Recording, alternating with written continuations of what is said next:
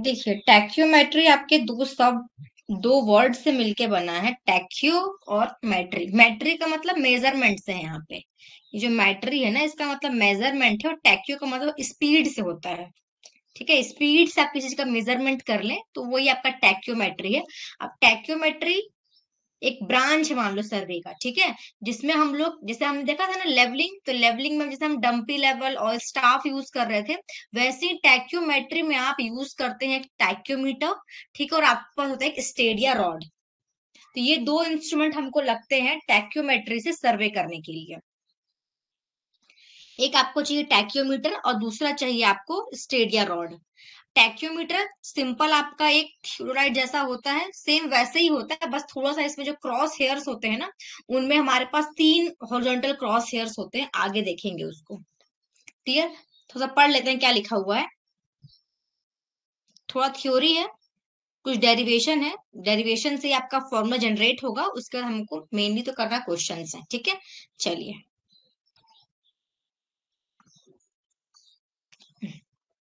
क्या लिखा हुआ है? Tacheometry surveying is defined as a method of angular survey in which a tacheometer is used to determine the horizontal and vertical distance between two points, thus eliminating the tedious process of chain survey to measure horizontal distance. Tachyometry surveying is preferred over chain or tape surveying. It is faster and more convenient, especially in hard terrain such as broken grounds, deep ravine, stretches of water bodies, etc. Clear यहाँ पे देख क्या लिखा हुआ है tacheometry surveying में हम लोग क्या करते हैं मेनली आप हॉरिजॉन्टल और वर्टिकल डिस्टेंस दोनों आप फाइंड आउट कर सकते हैं। देखो, अब हॉरिजॉन्टल डिस्टेंस निकालने के लिए तो आपके पास चेन चेन या टेप सर्वे ऑलरेडी अवेलेबल था, लेकिन चेन और टेप को आप, जब आप प्लेन एरिया में काम करते हैं, तब तो सुटेबल होता है, लेकिन जब आप अनड्यूलेशन में काम करते हैं, या ब्रोकन ग्राउंड का मतलब होता है, बहुत ज़्यादा अनड्यूलेटेड है तो वहाँ पे आप, जैसे मान लीजिए आपका ग्राउंड ऐसा है कुछ, आपका अगर मान लीजिए प्लेन तब तक तो कोई दिक्कत नहीं होता। जब प्लेन ग्राउंड है आपका, और एक आपका ऐसा ग्राउंड है, ठीक है? ये ग्राउंड है आपका। अब आपको यहाँ पर सर्वे करना है। आपको मुझे कोई पॉइंट ए ये कोई पॉइंट है बी आपको इसके बीच का डिस्टेंस निकालना है। सेम यहाँ भी, ये पॉइंट ए है आपका, और ये आपका पॉइंट बी है। आपको ए से बी का डिस्टेंस फाइंड आउट करना है। ठीक है? चलिए तो सिंपल अगर आप, आपके पास, अगर प्लेन पूरा ग्राउंड है तो आप अच्छा है कि आप चेन रखिए, यहाँ पे टेप रखिए और ये पर डिस्टेंस आप कैलकुलेट कर लीजिए। चेन को ऐसा स्ट्रेट रखना हमारे लिए पॉसिबल है। लेकिन अभी आपका जैसा अनड्यूलेटेड है, आपको ए से बी का डिस्टेंस चाहिए तो आप क्या करेंगे जनरली ए पे पकड़ेंगे स्ट्रेट और बी पे स्ट्रेट पकड़ लेंगे और ये डिस्टेंस निकाल लेंगे। लेकिन ऐसे में आपका एग्जैक्ट सही डिस्टेंस आना पॉसिबल नहीं हो पाता है। अनड्यूटेड ग्राउंड में या बहुत कोई डीप रवाइन आ गया आपका, कोई स्टिचेस आ गया, कोई वाटर बोर्ड में बीच में काम कर रहा था ऐसा कुछ खाई आ गया आपका। अब कैसे करोगे हम मेज़रमेंट तो ऐसे जगह पे आप क्या करते हैं? टैक्योमेट्री यूज़ कर लेते हैं टैक्योमीटर सिंपल आपका एक थ्यूरोलाइट जैसा होता है, उसमें भी सिंपल क्रॉस हेयर्स होते हैं और एक तरह आप स्टेडियम रॉड को पकड़ते हो, उसमें से आप रीडिंग को पढ़ लेते हो। और रीडिंग को पढ़ के आप क्या करते हो? डिस्टेंस को फाइंड आउट कर लेते हो दो पॉइंट के बीच में। क्लियर है यहाँ तक? चलिए नेक्स्ट आइए। देखिए, हमको इसमें यूज़ करना है टैक्यूमीटर तो टैक्यूमीटर होता क्या? थोड़ा सा वो देख लेते हैं। A transit theodolite fitted with special steel diaphragm is known as tacheometer it is the main instrument of tacheometry surveying Its telescope contains two horizontal hairs called stadia hairs in addition to the regular crosshair. The stadia hairs are equidistant from the central crosshair and they are specially termed as stadia lines or stadia webs. देखिए जो simple आपका जो telescope होता है ना जो हम levelling में करते जो हम लेवलिंग में कर रहे थे तो आपका मान लीजिए टेलीस्कोप है इधर आपका ऑब्जेक्टिव होता था इस तरफ़ आपका ऐसे करके आई पीस होता था ऐसे करके मान आपका आई पीस है। ये यहाँ कहीं पे आपका डायफ्राम होता है डायफ्राम और यहाँ पे आपका क्रॉस हेयर बना होता है। तो जो क्रॉस हेयर आप देखोगे ना अपने टेलीस्कोप के अंदर से, कोई बात नहीं क्लास अभी स्टार्ट हुआ है, ठीक है? चलिए। तो कुछ आपको ऐसा दिखेगा क्रॉस हेयर आपका अंदर से। आदित्य। पीडीएफ तो अपलोड में कर दी हूँ, आपको गेट वाले में नहीं मिल रहा है। गेट के कंटेंट सेक्शन में आप जाएँगे ना तो जो गेट अग्नि वाला बैच है आपका आदित्य, या वो वाला है? प्रज्ञान बैच है। इसके पहले का लेवलिंग और आपका कंटूरिंग दोनों को अपलोड करती हूँ पीडीएफ। आप लोगों को शो नहीं हो रहा है क्या कंटेंट सेक्शन में? आदित्य, आप कौन से बैच के हैं? अग्नि अग्नि के हैं। तो अग्नि वाले में आप कंटेंट अपलोड है ना? देखिए अगर आपको नहीं मिल रहा ना आदित्य, आप कंटेंट सेक्शन में जाइएगा और आपको वहाँ पर दिखेगा गेट ट्वेंटी ट्वेंटी फोर करके लिखा होगा एक। उसके अंदर आप जाएँगे ना तो नहीं है अपलोड है अपलोड कुछ बोल रहे हैं। गेट ट्वेंटी ट्वेंटी फोर के अंदर जाओगे ना आप तो वहाँ पे आपको वो लिखा हुआ मिलेगा। कुछ कंप्लीट सिलेबस करके है। उसके अंदर आप क्लिक करेंगे तो आपको लास्ट में मिलेगा आपको सर्वे करके। तो उसके अंदर आप क्लिक करेंगे तो उसके अंदर आपका वीडियो भी है और उसके नीचे में स्टडी मटेरियल में आपको अभी तीन वीडियो, तीन आपके पास वहाँ पे स्टडी मटेरियल्स होंगे। एक आपका होगा इंट्रोडक्शन का, दूसरा होगा, देखो लेवलिंग का पहले मैं क्या कहती ना हाफ़ हाफ़ डाली थी तो पूरा एक साथ डाल दी हूँ तो उन दोनों को डिलीट कर दी हूँ और एक फुल डाल दी हूँ। ठीक है? तो एक वो हो गया और तीसरा आपका कंटूर है।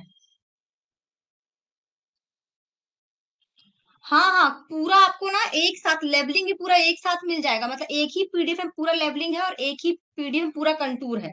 अलग अलग नहीं है। ठीक है? चलिए, आइए यहाँ पे आइए। देखिए, सिंपल जो आपका टेलीस्कोप, जो आपका डंपी लेवल में जो टेलीस्कोप होता था, उस पर जो क्रॉस हेयर होता है ना आपका तो आपको उस क्रॉस हेयर में ऐसा दिखता था। ये ऐसा और एक, एक लाइन सिंपल।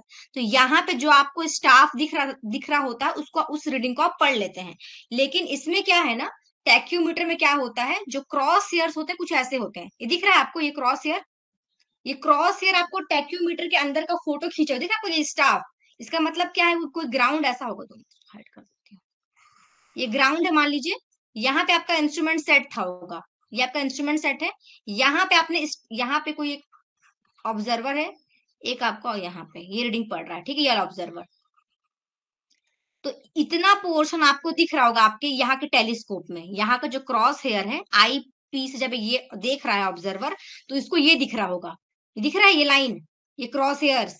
तो वो दिख रहा होगा। जितना आपको यहाँ पे जो स्टाफ का रीडिंग है, देखो दिख रहा है, कुछ पॉइंट नाइन लिखा है, यहाँ वन मीटर हो गया वन पॉइंट वन मीटर है।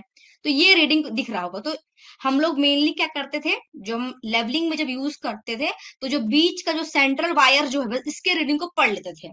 ठीक है? लेकिन जो टैक्यूमीटर में क्या होता है ना, थोड़ा सा अलग सा क्रॉस हेयर होता है, इसमें ऐसा होता है।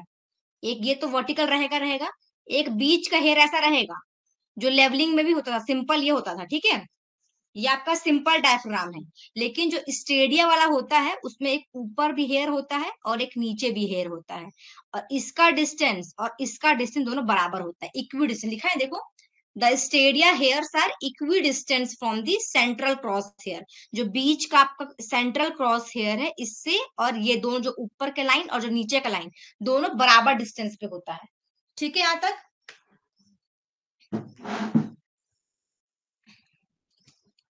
ऐसे वाले क्रॉस हेयर को हम लोग क्या बोलते हैं? स्टेडिया बोलते हैं। स्टेडिया हेयर्स बोलते हैं इनको। तो ये आपका हो गया अपर स्टेडिया हेयर ये आपका बीच का हो गया सेंट्रल वाला और नीचे वाला हो गया आपका लोअर स्टेडिया हेयर क्लियर है क्या?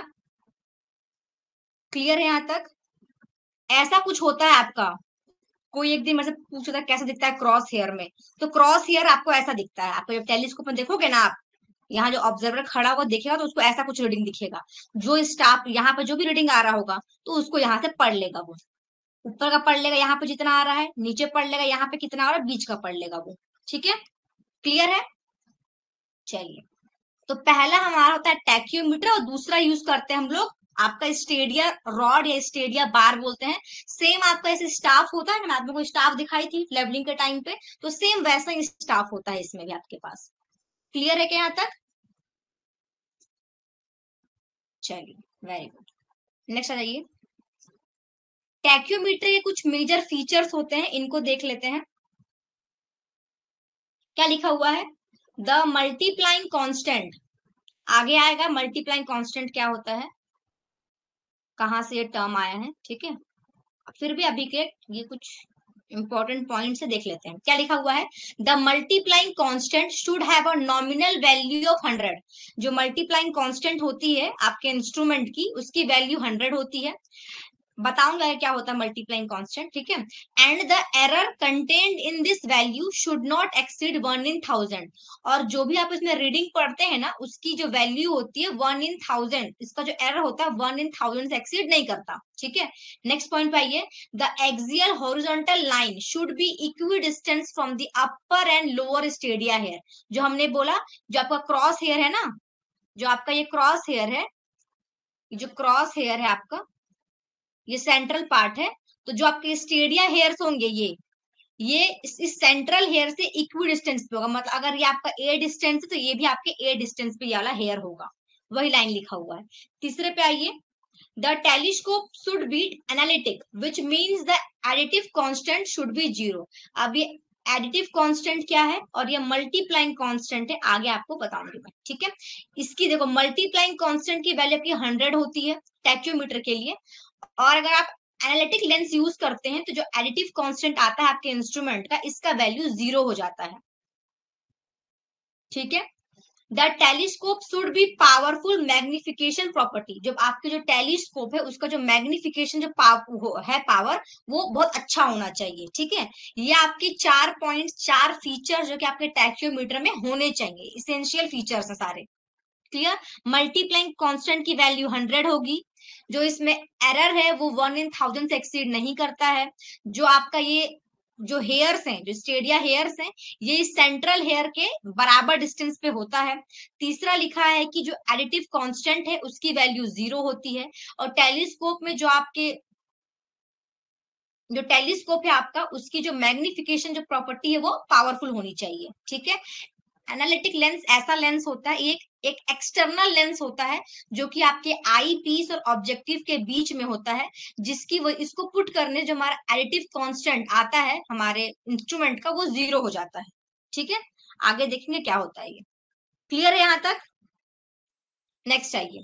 टैक्योमीटर का जो प्रिंसिपल है, किस प्रिंसिपल पे आपका टैक्योमेट्री वर्क करता है?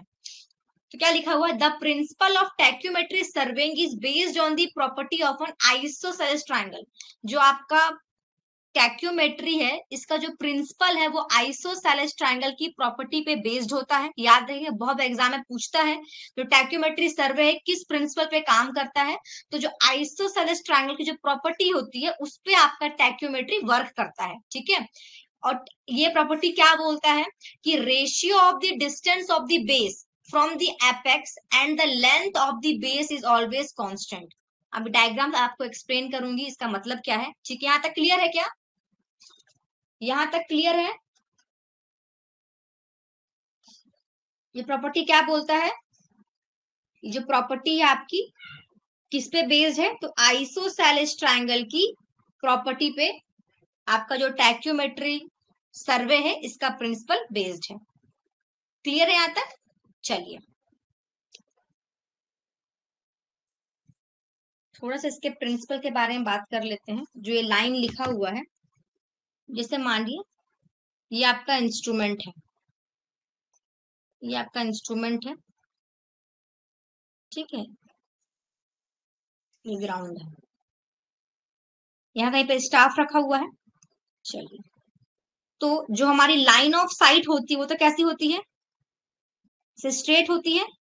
लेवलिंग में हम यही पढ़ते हैं, ठीक है? लेवलिंग में हम जो पढ़ते हैं रीडिंग बस इस रीडिंग को पढ़ लेते हैं। लेकिन यहाँ पे क्या है? टैक्यूमेट्री में हम, हमको अपर स्टेडिया की रीडिंग पढ़नी है सेंट्रल की भी पढ़नी है। मतलब जब आप क्रॉस हेयर ऐसा है, ये रीडिंग पढ़नी है बीच की तो ये बीच का तो हो गया। हमको ऊपर रीडिंग की पढ़नी है और नीचे की रीडिंग की पढ़नी है। तो जो लाइन आ रहा है कुछ ऐसा आ रहा होगा ये। आपको ये रीडिंग की पढ़ना है। ये पढ़ना है और आपको ये पढ़ना है। इसको हम नाम दे देते हैं, इसको हमें बोल दिया, मान लो ये रीडिंग एस वन है आपकी, ये रीडिंग एस टू है आपकी, ये रीडिंग आपकी एस थ्री है। क्लियर है? जो आपका ये एस टू है तो आपको वर्टिकल डिस्टेंस दे दिया यहाँ से यहाँ तक का वर्टिकल डिस्टेंस जो कि हम एलिवेशन पढ़ते थे। ठीक है?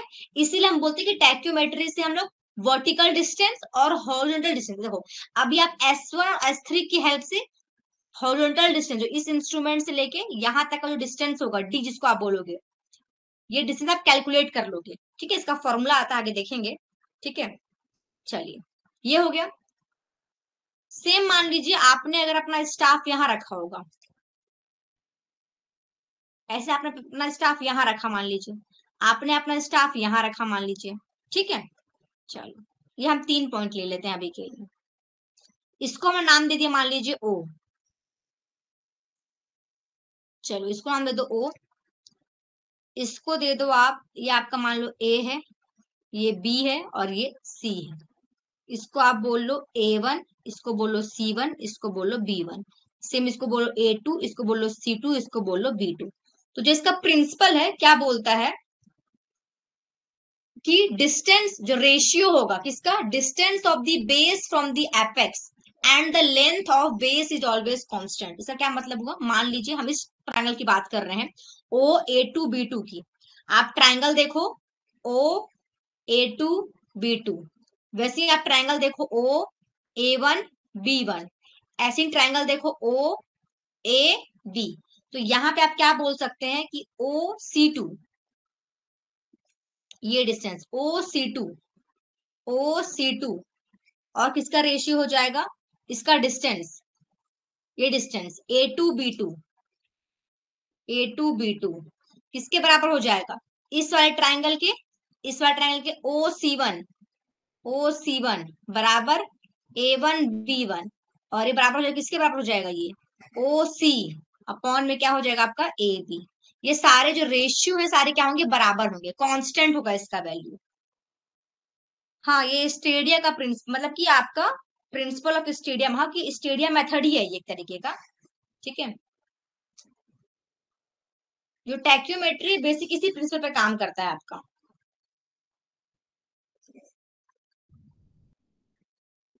हाँ अभी बताऊँगी, सारे मेथड्स डिस्कस करेंगे इसके बाद। ठीक है? इसी इसी प्रिंसिपल का यूज़ करके पूरा हम डेरिवेशन करके जो क्या, आपका जो डिस्टेंस का फॉर्मूला हम लेके आते हैं। आगे देखेंगे। क्लियर है ये? चलिए। नेक्स्ट बात करते हैं टैक्योमेट्री सर्वे के मेथड्स के ऊपर, ठीक है? मेथड्स ऑफ़ टैक्योमेट्री सर्वे थोड़ा थ्योरी है, लेकिन काम का ही है। चलो, देख लेते हैं। पहला इसमें जो आता है मेथड आपका, वो है आपका स्टेडियम मेथड टैक्योमेट्री अब इसके अंदर आपके पास दो मेथड है, एक आपके पास है फिक्स्ड हेयर और दूसरा आपका है मूवेबल हेयर जो स्टेडियम मेथड ये क्या बोलता है? The stadia technique of tacheometry is a popular method adopted for calculating horizontal distance and vertical elevation. The horizontal distance between the staff station and the instrument station and the elevation of the staff station along the instrument line of sight is computed using this approach with only one observation from the instrument station. This method of surveying can be further classified into the following two types. इसके बाद ना जो आपका stadium method है commonly हम इसी method को follow करते हैं। इस इस मेथड के अंदर आपका दो तरीके करने के सॉल्व करके डिस्टेंस को कैलकुलेट करने का। पहला बोलता है आपका फिक्स्ड हेयर मेथड इसमें क्या लिखा हुआ है? The device use for taking observation in this form of survey is a telescope इसमें एक टेलीस्कोप होगा। With two extra cross hairs one above and one below the centre hair ठीक है? The stadia hair are one that equally space from the centre hair when observe where the instrument telescope the stadia hair are seen to intercept specific length of the staff this is the most often use tacheometry surveying approach जो basically हम लोग जो use करते हैं, इसी principal का use करते हैं। फिक्सड हेयर में क्या होता है ना? यहाँ पे नाम से ही क्लियर है। इसमें क्या होता है? फिक्सड हेयर में मान लीजिए आपका टेलीस्कोप है। ये टेलीस्कोप है, ये आपका ऑब्जेक्टिव है ऐसा। ये आपका ऑब्जेक्टिव है। ये मान लीजिए आपका इधर आपका आई पीस ऐसे करके। इधर आपका ऑब्जर्वर खड़ा होगा, ठीक?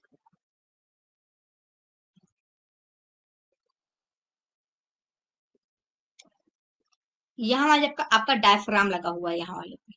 या भी ये आपका क्रॉस हेयर है, ठीक है? तो जो क्रॉस हेयर यहाँ बना हुआ है, जो क्रॉस हेयर यहाँ बना हुआ है, इसका डिस्टेंस फिक्स होता है। इसको आप चेंज नहीं करते, ठीक है? इसका डिस्टेंस फिक्स होता है।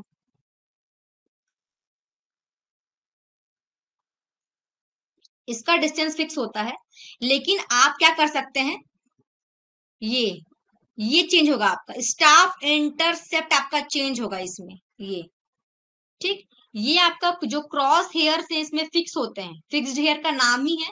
इसमें जो क्रॉस हेयर्स लगे होते हैं, वो फिक्स होते हैं, ठीक है? और जो स्टाफ इंटरसेप्ट है, वो आप चेंज करते हैं। जैसे आप डिस्टेंस को बढ़ाओगे अपने इंस्ट्रूमेंट से, या मान आपका वर्टिकल एक्सिस है, ये आपका वर्टिकल एक्सिस है, यहाँ से अपने डिस्टेंस को आप चेंज करते जा रहे हो।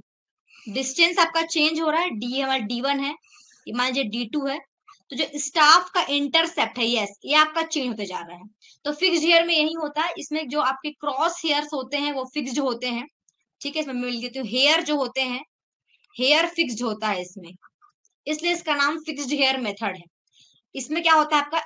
Intercept change intercept change according to distance according to जैसे जैसे अपने डिस्टेंस को बदलोगे, आपका जो इंटरसेप्ट है वो चेंज होगा। अब ये इंटरसेप्ट एस है क्या? जो आप पढ़ते हो ना एस वन एस टू और एस थ्री तीन रीडिंग मिलता है आपको क्रॉस हेयर में? ये मिलता है ना आपको? आपको मान लीजिए एस वन रीडिंग है, ये एस टू रीडिंग और ये एस थ्री रीडिंग है। तो जब आप S three minus S one करते तो आपको ये एस मिलता है, जिसको आप स्टाफ इंटरसेप्ट बोलते हैं। ये और ये, इसके पीछे जो ये डिस्टेंस है, इसको आप एस बोलते हैं स्टाफ इंटरसेप्ट क्लियर है क्या? तो फिक्स्ड हेयर में जो क्रॉस हेयर होता है आपका, वो उसका डिस्टेंस फिक्स होता है। जो स्टाफ इंटरसेप्ट इसकी वैल्यू चेंज होते रहती है, जिससे आप डिस्टेंस को बढ़ाओगे, आपका स्टाफ इंटरसेप्ट भी चेंज होता जाएगा। क्लियर है क्या यहाँ तक?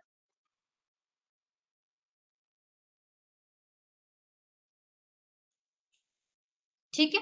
तो ये हमारा हो गया फिक्स्ड हेयर मेथड जनरली हम इसी मेथड को फॉलो करते हैं। जनरली हम इसी मेथड को क्या करते हैं? फॉलो करते हैं।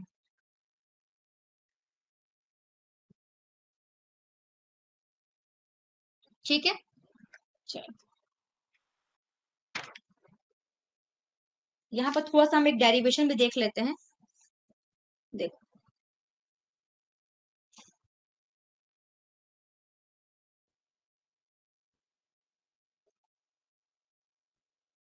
देखिए, ये मान लीजिए यहाँ पर टेलीस्कोप है। ये मान लेते हैं हमारा कि ये हमारा टेलीस्कोप है।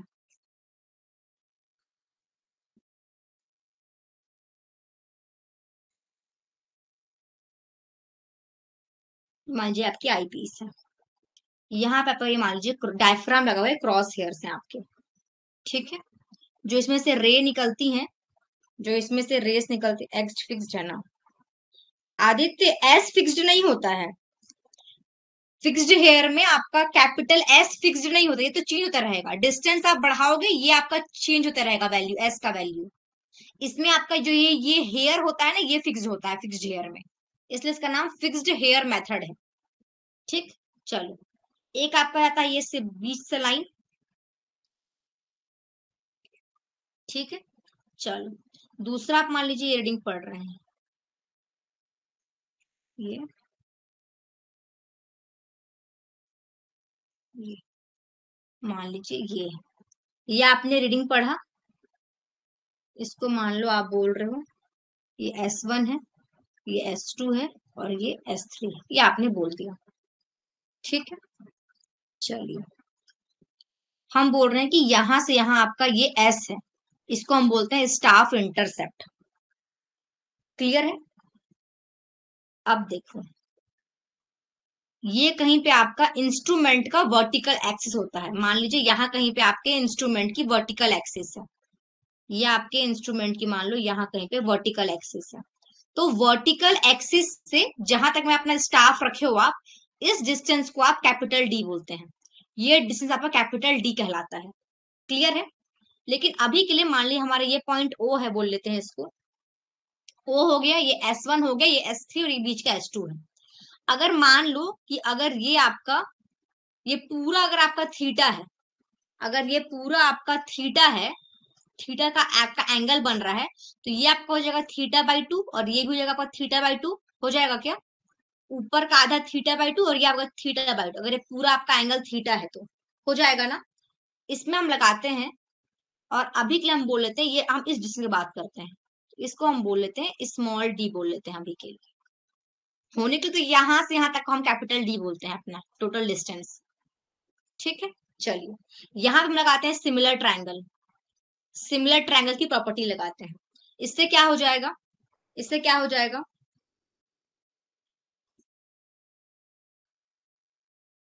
आप इस वाले ट्रायंगल बात कर लेते हैं। ओ एस वन सॉरी इस पूरे ट्रायंगल बात करते हैं, इस पूरे ट्रायंगल की, ठीक है? तो यहाँ पे आपका हो जाएगा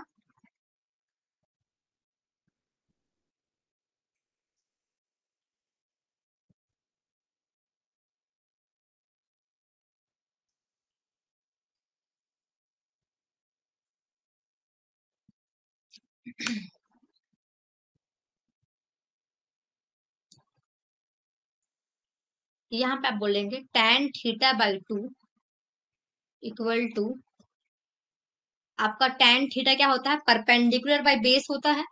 परपेंडिकुलर मान आपके एस है और बेस आपका स्मॉल डी है। तो यहाँ से आप क्या बोल सकते हैं कि डी इक्वल टू हो जाएगा आपका S tan theta by two ठीक है? D equal to S sorry ये आपका कितना हो जाएगा? अगर हम इसका बात करें तो ये आपका हो जाएगा एस बाई टू हो जाएगा ये। तो ये हो जाएगा आपका एस बाई टू तो इसको आप ये लिख सकते हैं S two tan theta by two D इधर चला गया आपका, ये नीचे आ गया आपका। ठीक है? तो यहाँ से क्या हो जाएगा? डी इक्वल टू आप वन बाई टेन को आप कॉट लिख सकते हैं। तो इसको आप बोल सकते हैं half cot theta by two into S. बोल सकते हैं यहाँ पे। इससे हमको ये समझ में आ रहा है कि जो आपका डिस्टेंस होता है, जो आपका डिस्टेंस आप निकाल रहे हो, ये पूरा इंस्ट्रूमेंट आपके इस थीटा पे डिपेंड कर रहा है, इस थीटा पे। ठीक है? तो यहाँ से हम क्या बोल सकते हैं?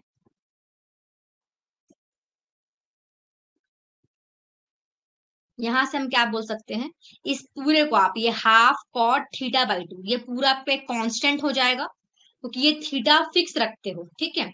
तो ये हमने मान लिया कि ये इसकी जो पूरी वैल्यू है, आपकी के के बराबर है। ये पूरा वैल्यू आपका के के बराबर है, ठीक?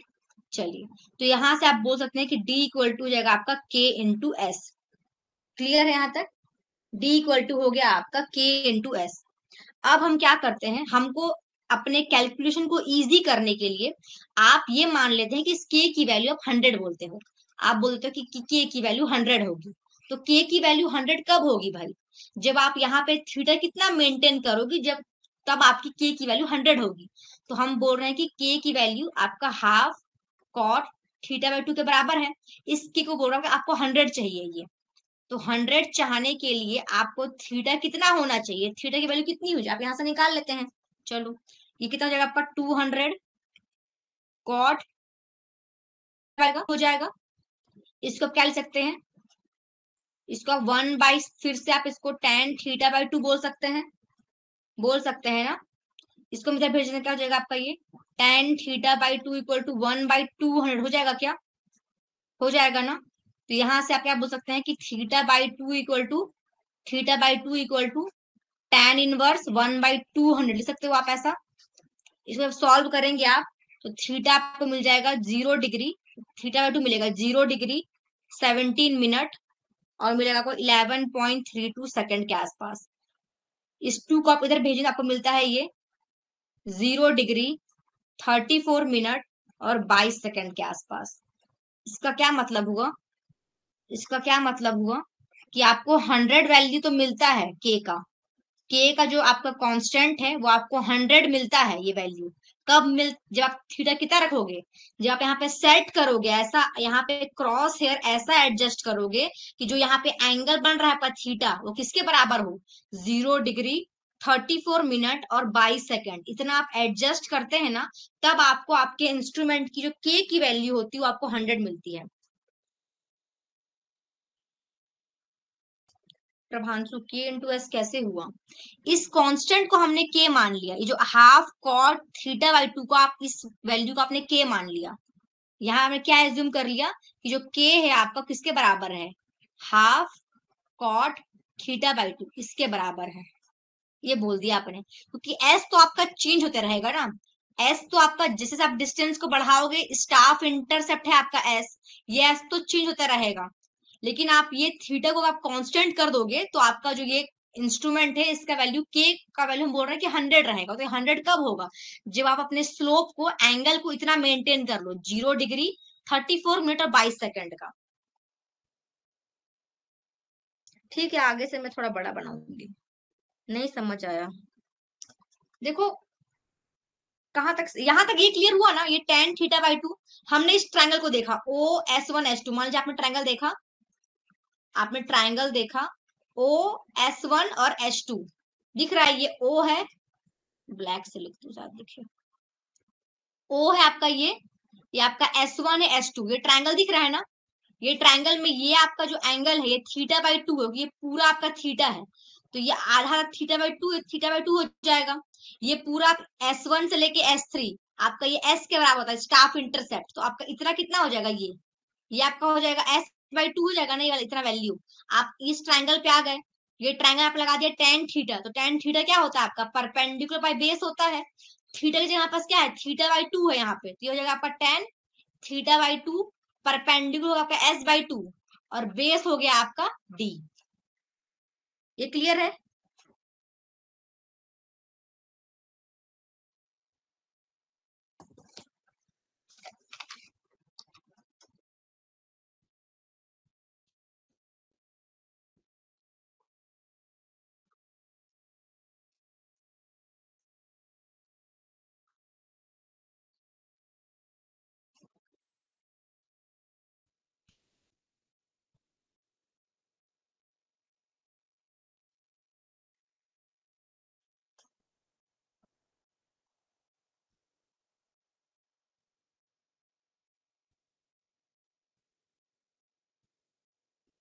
एक का नहीं समझ आया।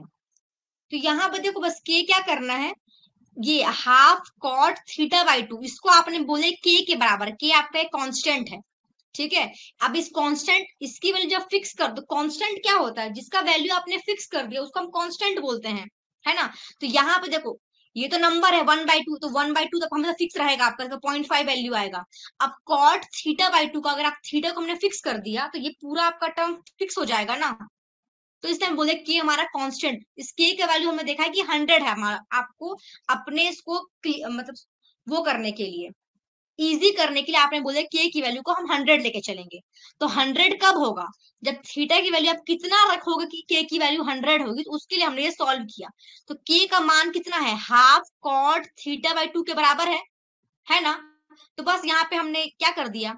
यहाँ पे टू भी यहाँ टू आ गया कॉट थीटा बाई टू हो गया ये। कॉट को कॉट थीटा कह सकते हैं। वन बाई टेन कर सकते हैं ना? वन बाई टेन तो कॉट होता है आपका। तो हमने one by tan theta by two कर दिया। इसको यहाँ पे सॉल्व कर दो आप तो आपका वैल्यू इतना आ जाएगा। फॉर्मूला अभी आगे आ, बता रही हूँ। ये तो हमने कभी कभार आपसे एग्ज़ाम में पूछ लेता है कि आप यहाँ थीटा को कितना रखोगे कि के की वैल्यू आपको हंड्रेड मिलती है। के की वैल्यू